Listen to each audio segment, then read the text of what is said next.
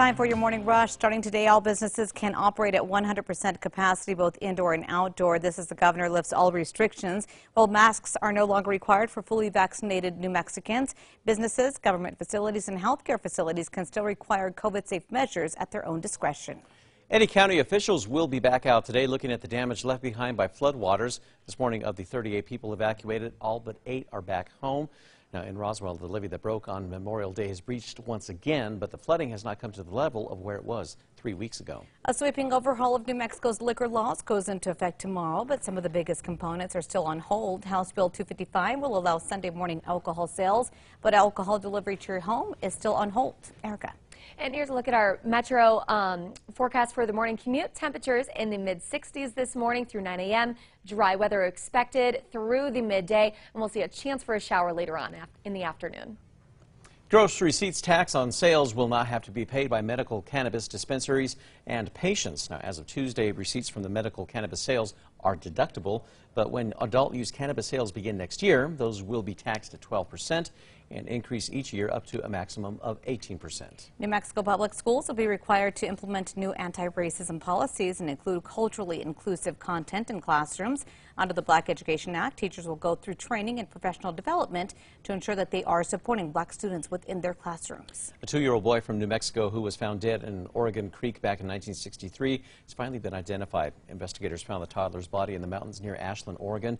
After DNA was taken in 2008 when the boy was exhumed, a sibling match was finally found through a genealogy site. Erica. Here's a look at the Metro Threat Index today. It is low. We'll only see a few isolated showers possible by later on this evening. A local theater is getting ready to kick off live performances for their 92nd season. Albuquerque Little Theatre's summer series kicks off July 8th. It runs through August 29th. You might remember back in February, the theater asked for the public's help to help them stay afloat.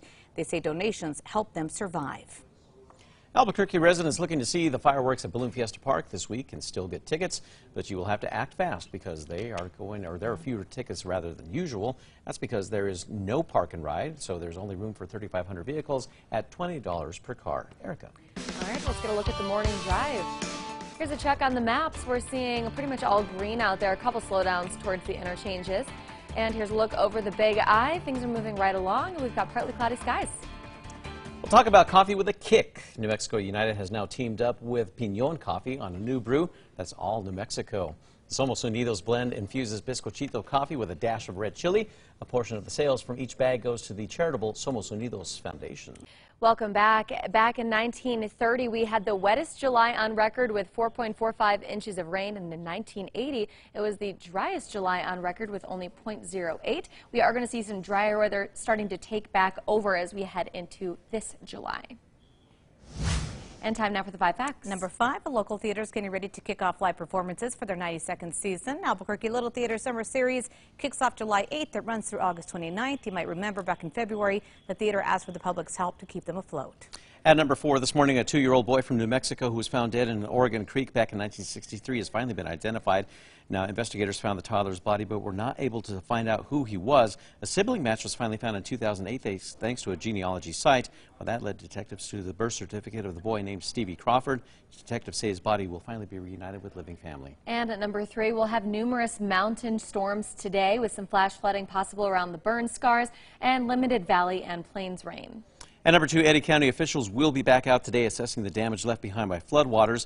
Well, this morning, of the 38 people evacuated, all but eight are back home. Residents also learned that one of their neighbors is presumed dead after witnesses saw them drive around a barricade and they get swept away by the floodwaters. And finally, at number one here this morning, it's back to business in New Mexico as the governor lifts all restrictions that have been in place for nearly 16 long months. Starting today, all businesses can operate at 100% capacity, both indoor and outdoor. The city of Albuquerque will return to nearly 100% capacity, 100% at their facilities for employees. You'll no longer need a reservation to get into a city pool as well. Masks are required for those who are fully vaccinated. However, businesses, local governments, and healthcare facilities can still require them.